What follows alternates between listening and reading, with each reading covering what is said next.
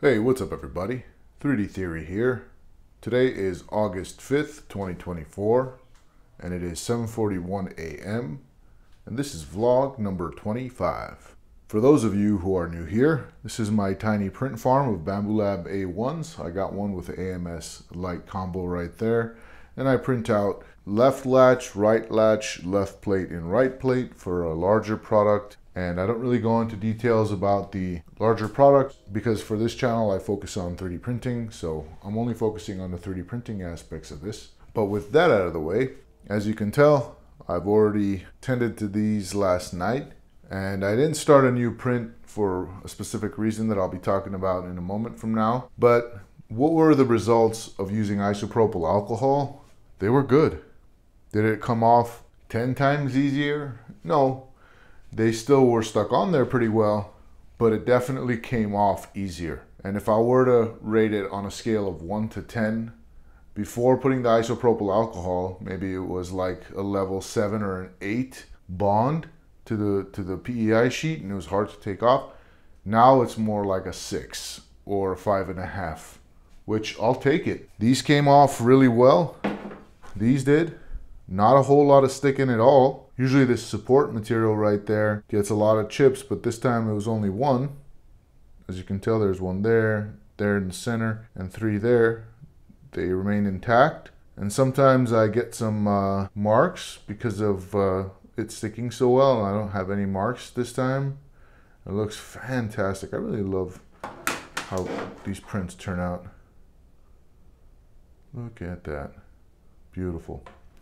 And likewise with this one. Same thing. It looks like this one has zero that, that chipped off. Even the supports stayed. So yeah, isopropyl alcohol definitely does the trick. And um, these came off really well too. And these parts are just sitting here uh, because I, I wanted to fine tune some of these tolerances so I can optimize the functionality of them. And for that reason, I'm going to do some tolerance tests today just so I know when I 3D model what's a good tolerance. For example, by the way, actually, it is 76.3 degrees Fahrenheit in the 3D printer room. And so when I was making these 3D Theory coasters, I didn't exactly know how much tolerance to put. I put a two millimeter gap because I'm so used to working with printers that I'm not going to mention any names, but if you guys been on this channel, you know which printers I'm talking about. Uh, they're sometimes inconsistent. They need more gaps.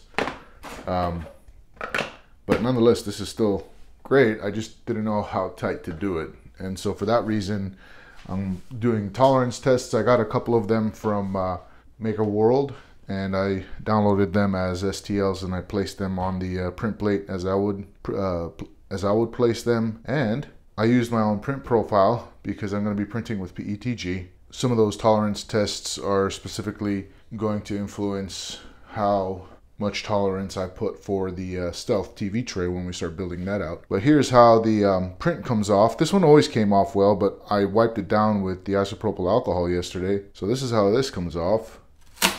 Like a charm. That's so good. And this is printed with uh, the near empty spools. So it's looking great. All right, that's ready to go. So I'm gonna go ahead and grab that tolerance test. I think I'll print it out in that Creality PETG I had from yesterday and uh, we'll go from there. All right, so I got the file onto the SD card. This is the PETG I was talking about that I printed that clamp out on yesterday. Unfortunately, they don't come with this Ziploc bag that I like. So I, I have some, I keep some because I know some filaments don't like to give you that, but nonetheless, uh, another empty spool, another two empty spools rather. So no filament wasted. Also no need for a filament connector, which is super cool. Even though I still want to get one.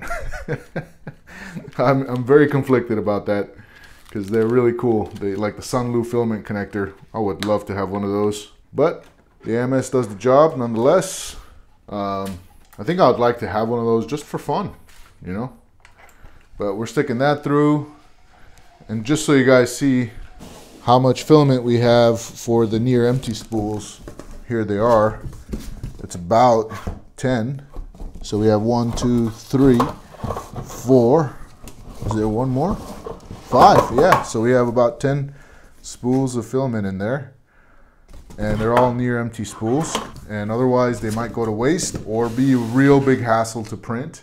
But because of that, we can use them all. I went ahead and I grabbed another near empty spool. I'm just gonna load this in.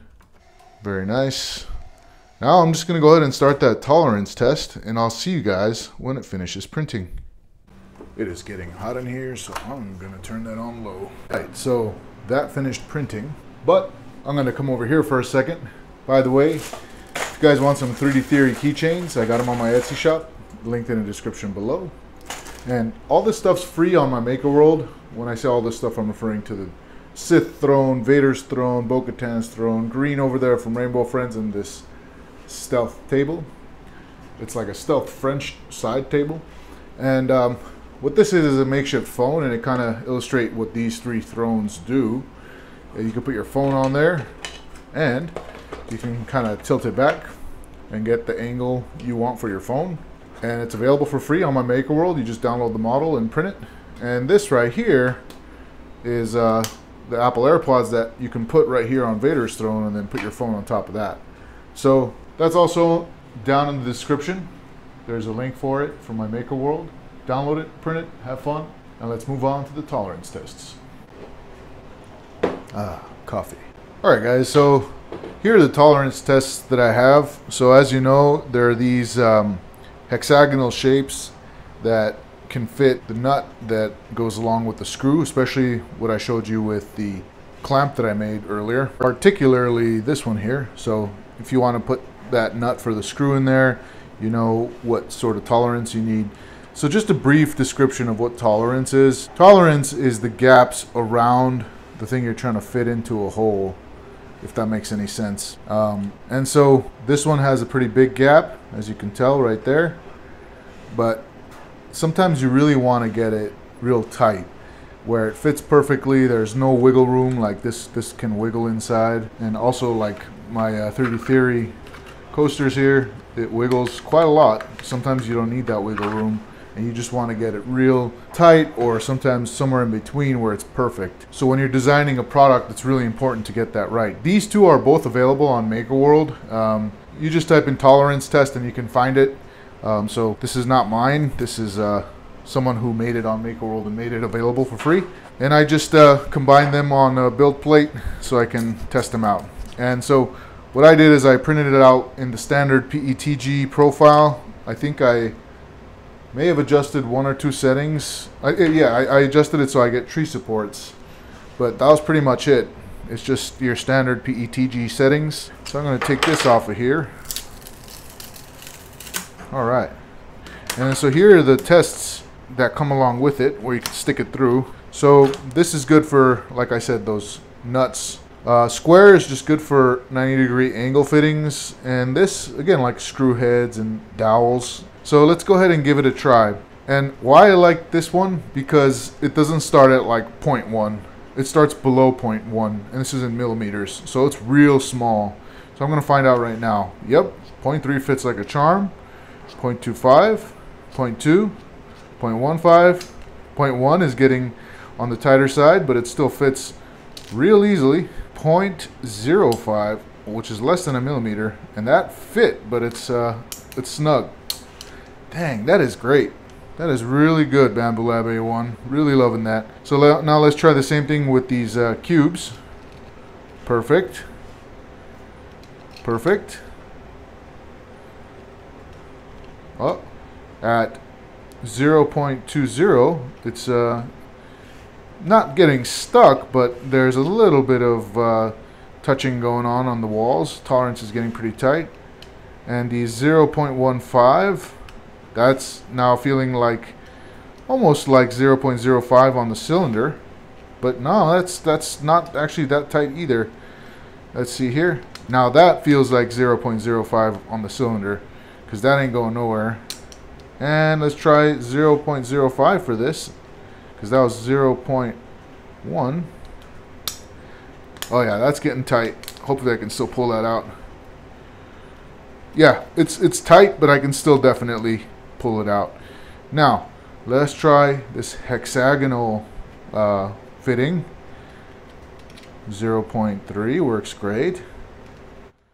0.25 works great. 0.2 works great. 0.15 1.5 also worked great, but it fell. I couldn't catch it. Uh, let's see, 0.1. That worked good too. All right, this is getting tight. Yeah, that's definitely snug. So, what do I have to say? Man, that's great.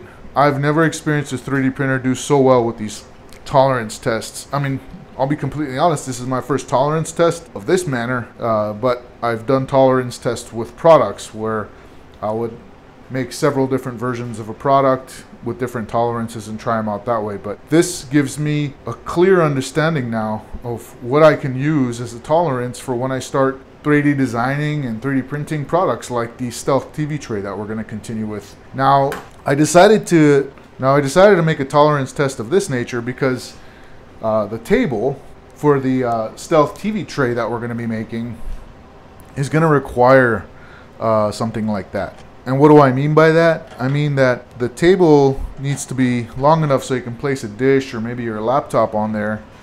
Um, but clearly the size of this, which I think is 256 millimeter cube, the size of the print bed, it's not going to be enough for that. So we're probably going to print the size of two print beds. And we're going to need a way to connect those securely. And, and I'm going to use this sort of fitting to make that work. But I want to know how tight I can get it without it being too much of a struggle or without being too loose. So this is perfect. These sorts of fittings I find perfect for conjoining tabletops like that and for other big surfaces. All right, so we have three different tests. We have a 0.2, a 0.15, and a 0.1.